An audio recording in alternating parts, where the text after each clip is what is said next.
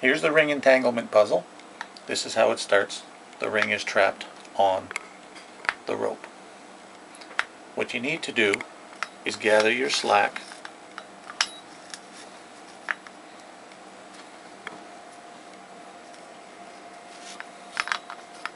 and this loose end of the rope has to go down through that hole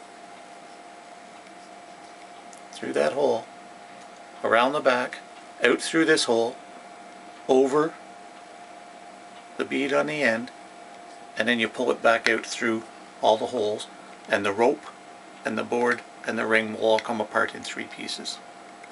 Do it right now so they can see.